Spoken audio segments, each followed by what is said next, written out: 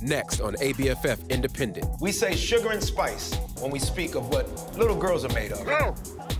These films will put a little spin on that notion. ABFF Independent on Mondays, 8 p.m. only on Aspire.